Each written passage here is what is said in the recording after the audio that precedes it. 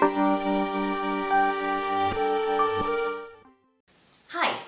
I'm Fumiko from the Face Yoga Method. So many people have asked me how they can reduce forehead wrinkles naturally with face exercise. One of the reasons of forehead wrinkle is unwanted repetitive movement like this. See? Your forehead is very busy, moving a lot, carrying lots of stress and tension throughout the day. In this video, I want to show you a very simple acupressure technique you can do on your forehead so that you can prevent and reduce forehead wrinkles.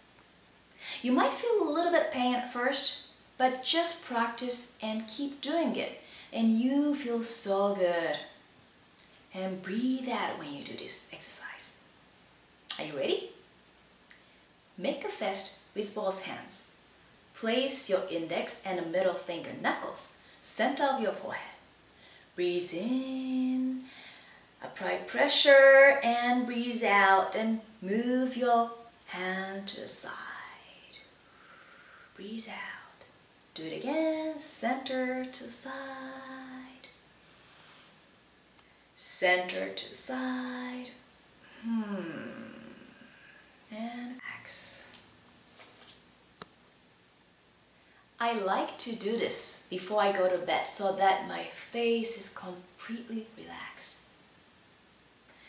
If you like this video, like it.